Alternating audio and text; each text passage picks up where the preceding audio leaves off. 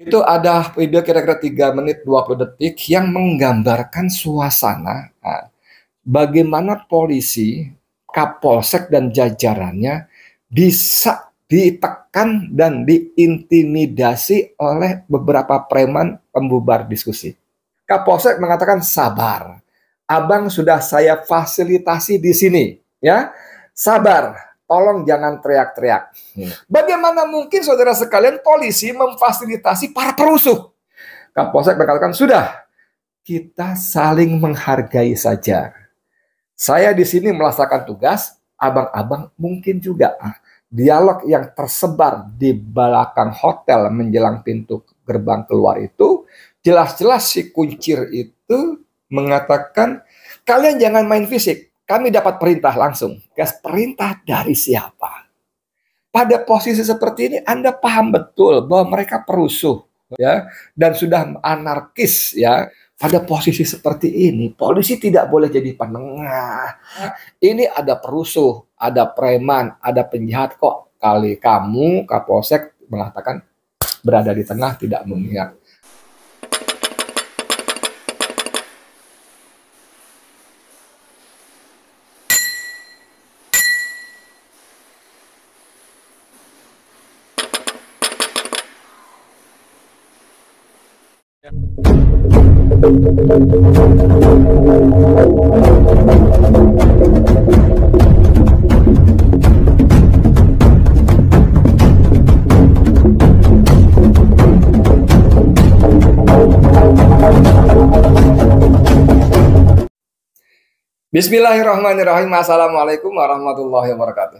Saudara rekan saya Edi Mulyadi dari Forum News Network FNN Bang Edi Channel. Saudara sekalian, masih soal penyerbuan, diskusi, dan silaturahmi Forum Tanah Air dengan para tokoh dan aktivis nasional ya. Sabtu 29 September di di Hotel Grand Kemang, Jakarta Pusat. Eh sorry, Jakarta Selatan ya.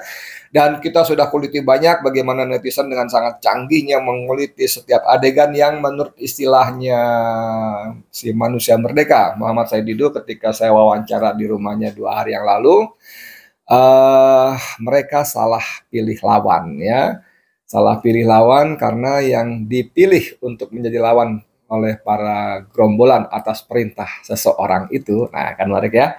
Atau atas perintah pihak tertentu itu, nah, walaupun kami sudah tahu ya, itu adalah para tokoh yang berakal waras dan punya keberanian. Jadi ketika mereka menyerbu ke ruangan, maka secara otomatis tanpa ada kesepakatan uh, apa, peserta diskusi yang juga para tokoh itu menyebar, mengambil gambar, video dari berbagai angle. Ah, kan? Saya juga termasuk yang berpikir ini nggak cukup dalam ruangan. Saya ikuti mereka keluar sampai ke parkir, uh, pintu gerbang bagian belakang hotel dan di situlah banyak terungkap sesuatu yang sangat ganjil. Bagaimana para preman yang garang di dalam merusak properti acara dan properti hotel itu, bentak-bentak teriak-teriak itu, di belakang dengan polisi mereka berangkulan, bersalaman, mencium tangan dan sebagainya seterusnya. Walaupun kemudian para petinggi polisi sibuk memberikan klarifikasi bla bla bla, tidak ada kerjasama, tidak ada segala macam. Bahkan untuk meyakinkan publik mereka juga mulai menurunkan divisi propam ya yang diperiksa antara lain Kapolseknya. Dari 11 polisi yang bertugas diperiksa antara lain Kapolsek Mampang Perapatan Edi Purwanto, Kompol ya. Nah saudara sekalian, polisi boleh mengelak segala macam silakan aja bahkan secara mohon maaf ya tidak tidak cerdas kalau saya bilang dungu nggak enak ya kepada Kom, uh, Kombes Ade ya Kapolres uh, Jakarta Selatan yang membuat pernyataan akan memburu penyebar pertama video penggerbekan pembubaran dengan dalih bahwa videonya sudah dipotong-potong, diedit-edit, tambah narasi-narasi yang menyesatkan yang tidak sesuai dengan kondisi di lapangan. Saya ingin mengatakan kepada adek ya, kasihan gitu loh. Kombes kan sebentar lagi pecah bintang ya. Umur juga masih muda sekali lah, saya yakin pasti di bawah saya. Masih bisa bintang 2, bintang 3, mungkin kalau Allah kendak bisa jadi Kapolri gitu ya. Tapi dengan mengucapkan itu kan menunjukkan lagi-lagi institusi polisi yang yang aduh tidak kunjung sembuh gitu loh dari berbagai penyakit bawaannya yang sungguh-sungguh membuat masyarakat marah ya.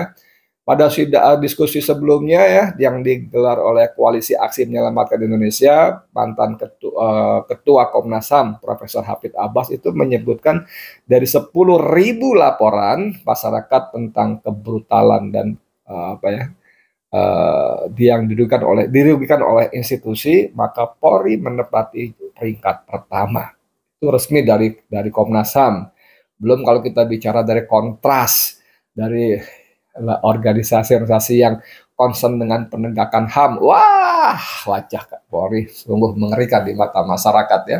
Tapi Ade, Kombes Ade ini justru cari penyakit dengan mengeluarkan statement akan memburu penyebar pertama video pembubaran diskusi. Oke, boleh silakan macam-macam selama kalian punya kekuasaan. Tapi saya ingatkan bahwa Joko Widodo sudah di ujung kekuasaan. Satu. Yang kedua, ya, pagi tadi saya bikin podcast bahwa gugatan G30S Jokowi, gugatan 30 September Joko Widodo sudah masuk ke Pengadilan Negeri Jakarta Pusat. Bahkan Pengadilan Negeri Jakarta Pusat sudah mengundang untuk sidang perdana pada 8 Oktober Selasa depan ya kawal ya dampingi kawal agar prosesnya transparan dan akuntabel hmm? dan bukan itu juga bukan hanya itu bahkan sudah menyusun jadwal sampai 11 kali sidang sampai tanggal 17 Desember adalah putusan.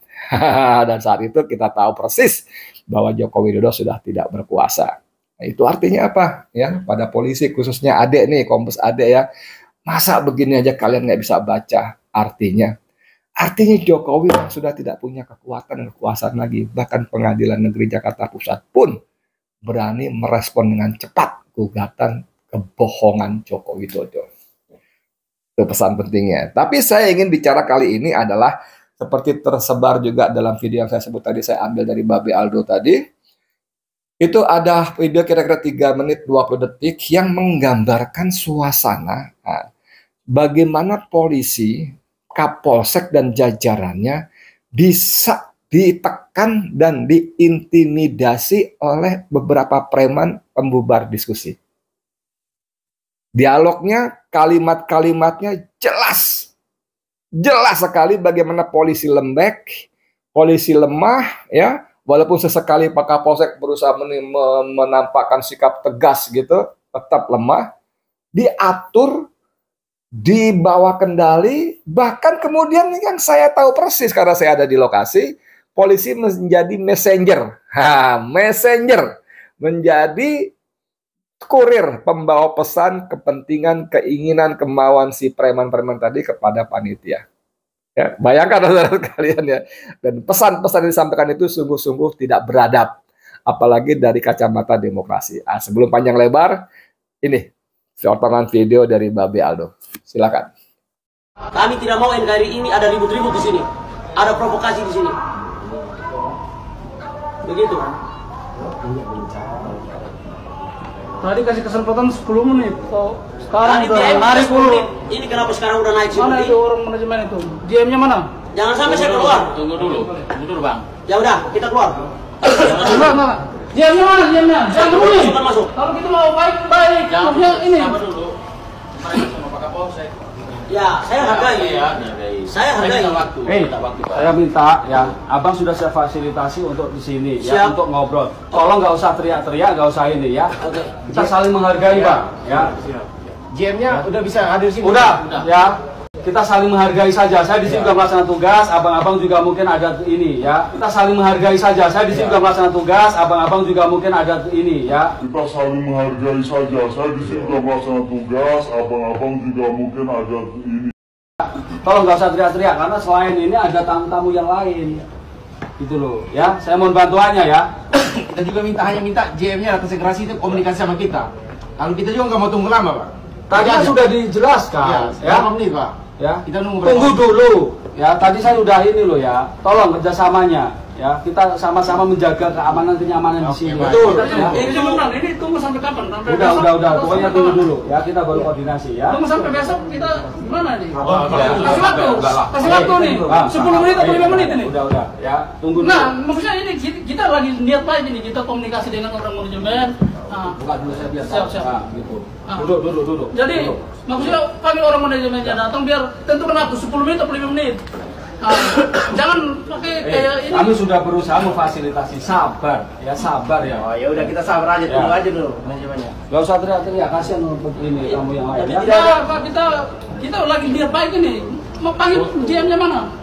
Orang GM-nya mana tuh? Iya, iya, kamu sini. eh kamu jangan nyuruh-nyuruh orang kalau kamu duduk duduk Tunggu aja gitu loh Tunggu aja dulu, tunggu aja, tunggu. Jam Kita, 12 eh, selesai kita kan? ini udah berusaha ini udah berusaha memfasilitasi loh Kita udah berusaha uh, semuanya supaya tenang. Ini kita nggak dihargai sama kalian-kalian gimana rekan Ya. ini? Siap, siap, siap. Terus kamu Siap, Kodan. Slow aja, Kodan. Kita juga... Udah, tenang ya. Izin dulu. Saya bertahan sampai berapa lama? Tunggu dulu saya masih koordinasi dari dengan pihak panitia ya di sini keberadaan saya sebagai penengah ya. saya tidak memihak si A si B ya bagaimana situasi supaya tetap aman kondusif Oke. Ya, mereka butuh, kita bubar aja. Udah, gimana? Udah, udah. udah udah, udah. Kami butuh kepastian untuk pastikan teman-teman di luar. Nah, karena kalau kami keluar tidak ada jawaban juga mereka tetap. Jadi kita butuh jawaban dari manajemen hotel berapa menit ini? Kami baru ya berkoordinasi dengan pihak panitia, Bang, ya sudah berkali-kali saya kami sampaikan, ya. Oke. Ya, tolong ya, saya minta tolong ya. Oke. Siap, Kodan. Jadi. ya. Oke, Bang. Secepatnya ya, Bang ya. Kadang-kadang.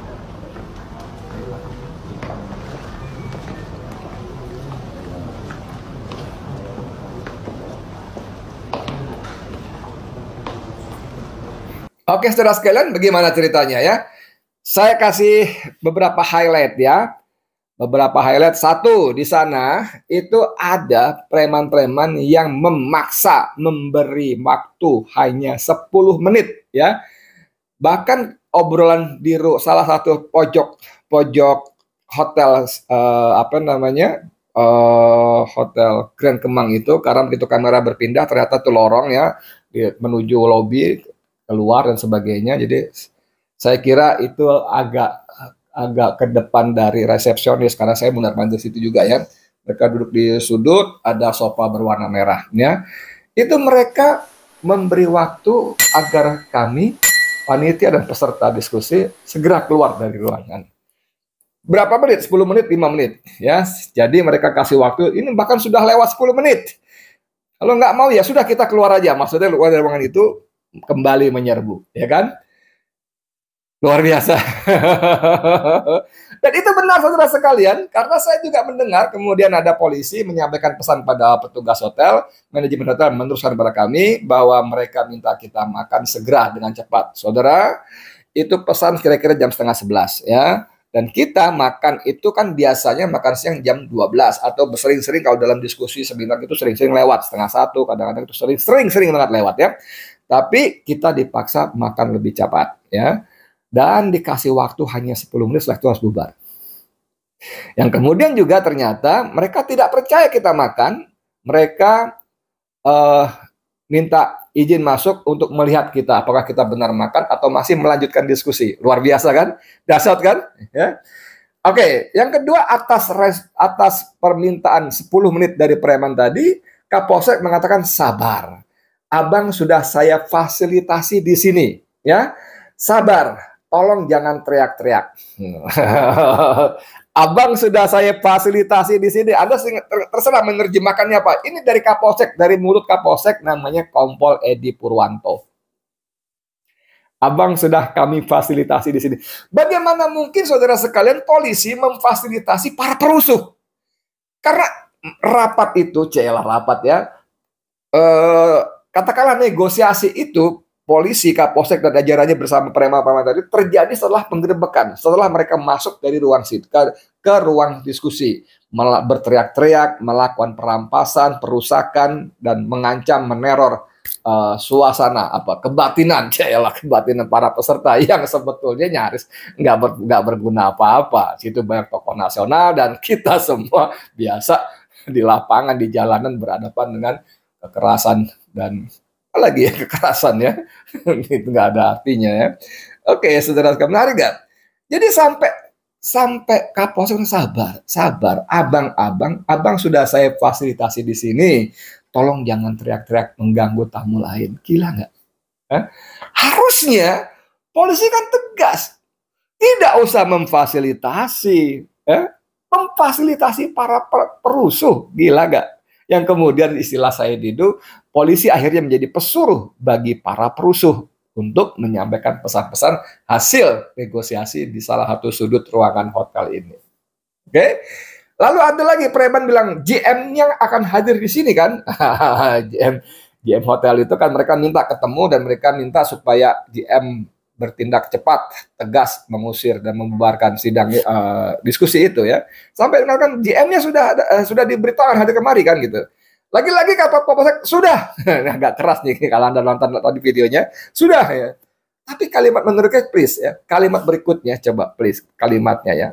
Tidak persis benar tapi ini yang saya tulis ya. Kapolsek berkatakan sudah, kita saling menghargai saja. Saya di sini melaksanakan tugas, abang-abang mungkin juga. Masya Allah. Ini video viral saudara sekalian. Jadi kalau divisi Propam akan memeriksa uh, Kapolsek dan anak buahnya, video ini bisa dijadikan bukti bagaimana yang menurut istilah polisi, menurut istilah Polri, Kapolsek dan anak buahnya sudah melanggar SOP. Ya, apalagi ya, apalagi si Wakapolda Metro Jaya, si Jati itu, Brigjen itu mengatakan tidak ada koordinasi dan membantah bahwa polisi terlibat dalam pembubaran. Nah, kan? Nah, ini menjadi tanda tanya besar. Kenapa polisi Wakapolda harus secara khusus mengatakan ini, membantah anggapan publik ini. Sementara dialog yang tersebar di belakang hotel menjelang pintu gerbang keluar itu, jelas-jelas si kuncir itu mengatakan, kalian jangan main fisik, kami dapat perintah langsung. Ah. Dapat perintah langsung yang oleh teman saya Arif antara lain video itu beredar ditanya perintah dari siapa. Bahkan Refli Harun secara khusus juga membuat podcast perintah dari siapa. Dan kemudian ternyata terkonfirmasi. Nah, ini menarik ini. Ini menarik sekali terkonfirmasi ketika Kapolsek mengatakan kita saling menghargai saja. Saya di sini melaksanakan tugas, abang-abang mungkin juga. Mungkin juga tugas dari mana. Sementara para pengacara preman ini mengatakan itu inisiatif pribadi. Tidak ada perintah dari siapa pun, kata kalimat kuncinya, termasuk dari polisi. Ah, kemarin sudah saya buat khusus di video sang ini, termasuk dari polisi. Ini adalah pesan inti, pesan kunci yang ingin disampaikan, termasuk dari polisi. Kalau pengacara mengatakan tidak ada perintah dari pihak mana pun, titik, kita masih terus bertanya-tanya. Tapi kalau mengatakan koma, termasuk dari polisi, inilah kunci yang ingin disampaikan pesan intinya. Seperti saya katakan waktu itu anak saya masih SD kelas 2 atau kelas 3, Abi coba tebak ini isinya apa? ini saya batu atau apa? batu atau apa? Sebut batu. Dalam logika anak kecil itu kan ingin ingin membuat tebakan pada bapaknya. batu atau apa yo? ini menarik. Ya, kita saling menghargai saja. Kami di sini melaksanakan tugas, abang-abang mungkin juga. Oke, kelima, kata si preman, kita nggak mau tunggu lama. Ini setunggu sampai kapan? Sampai besok kasih waktu berapa lama? 10 menit, 5 menit. Ah, ya kan? Ini ada preman yang berdiri si kuncir ya. Masih pakai masker lalu si mungkin kapolseknya sudah marah jadi maskernya ditarik ke bawah supaya uh, kelihatan wajahnya ya. Lalu apa kata kapolsek? kapolsek? Sabar. Ya elah, sabar Masya Allah. Tunggu dulu. Di sini saya sebagai penengah tidak memihak si A, si B. Bagaimana situasi supaya tetap aman kondusif sabar. Di sini saya sebagai penengah tidak memihak si A, si B. Mas Eko, Mas Edi ya, sama-sama Edi, Edi Purwanto ya. Pada posisi seperti ini Anda paham betul bahwa mereka perusuh, ya? bahwa mereka perusuh, bahwa mereka perusuh ya dan sudah anarkis ya yang satu dua hari kemudian secara memuakkan menurut saya Sigit Listio Prabowo Kapolri mengatakan tidak ada toleransi pada anarkisme dan premanisme. Alah, Sigit itu cuma ngomong melulu ya. Kapolri itu ngomong doang, nggak ada prakteknya ya, nggak ada. Kalaupun ada nggak memadai itu aja. Balik soal ini jadi kita merepet ke Kapolri segala ya. Masuklah barang itu ya. Jadi Kapolsek mengatakan saya di sini sebagai penengah, tidak memihak pada si A, pada si B. Bos Kapolsek ya Edi Purwanto. Pada posisi seperti ini, polisi tidak boleh jadi penengah.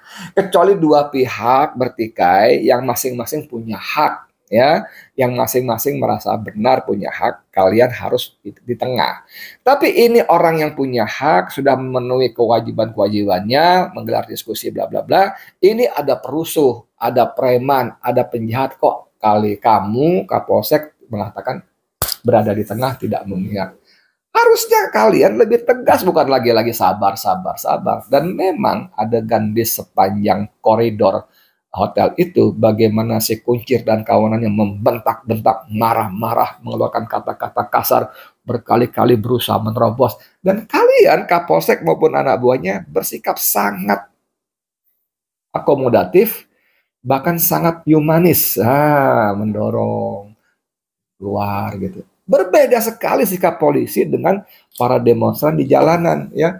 Sangat keras, represif, dan tidak sedikit yang sadis ya.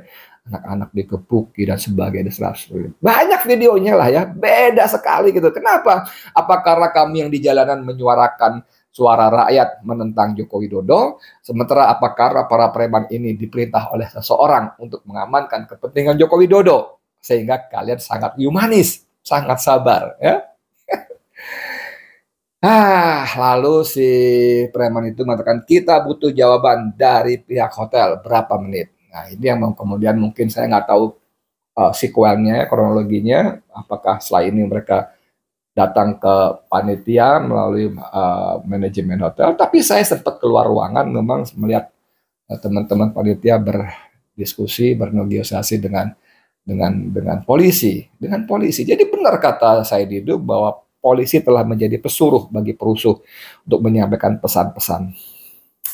Jadi ini keciduk kamera ya, nggak bisa enggak polisi memang di bawah tekanan pada adegan itu ya, di bawah tekanan dan sangat lunak kepada para preman perusuh. Kalau kemudian sehari berikutnya si kuncir dan satu temannya itu ditangkap, dipajang di depan wartawan pakai baju orange segala macam, sudahlah. sudahlah. Bahkan saya di pun waktu ngobrol dengan saya dalam podcast saya, dia memposting adegan itu, anak itu dikasih profil orange, di posting X-nya ya, Twitternya, percaya, tanda tanya. Saya juga terprovokasi, jadi nggak percaya. Ini bagian dari drakor orang bilang, drama, bukan drama Korea, ini bagian drama drama kotor. Seolah-olah kami sudah bekerja, kalian rakyat diam, jangan marah, kami sudah melaksanakan tugas. Tapi tetap menarik saudara sekalian ada beberapa yang tetap harus kita kulik ya. Siapa per polisi berpakaian preman yang memakai topi pet berwarna keren yang menunjuk kepada si kuncir di hotel bagian belakang itu. Dan anak muda, anak kuncir itu mengatakan, siap pak, siap. Siapa? Ah, siap, siap. Dengan gitu, mukanya dekat gitu. Saya ada di situ, bos. Saya ada di situ videonya yang bukan dari dari dari kamera saya ada tersebar saya ada di situ. Lalu si Kapolsek kita saling menghargai saja, saling menghargai. Kenapa? Karena sama-sama melaksanakan tugas. Kami di sini melaksanakan tugas, abang-abang juga mungkin. Oke saudara sekalian, sekali lagi saya minta bantu sebarkan video ini ke banyak orang, ke banyak grup-grup WA, ke platform-platform media sosial yang teman-teman punya. Dan buat yang belum menjadi subscriber, please jadilah subscriber agar Bang Edi Channel bisa menjangkau lebih banyak orang rakyat Indonesia ya, memperoleh kalau pencerahan terlalu gaya ya, perspektif, alternatif perspektif bagaimana para pengelola bejat negeri ini berkuasa dan berkelakuan seenak perut senak jidatnya ya. Dan jangan lupa tekan tombol loncengnya agar selalu mendapatkan update dari Bang Edi Channel. Kita bermohon pada Allah atas dosa-dosa kita agar Allah ampuni dan memohon Allah agar menolong kita menyelamatkan Indonesia ya. Nasrul minallah wa fatkun qarib wa basirul mu'minin. Pertolongan dari Allah, kemenangan sudah sangat dekat. Sampaikan kabar gembira negara orang. Amin. Ya Alamin. Saya Dimulyadi untuk FNN untuk Indonesia lebih baik. Assalamualaikum warahmatullahi wabarakatuh.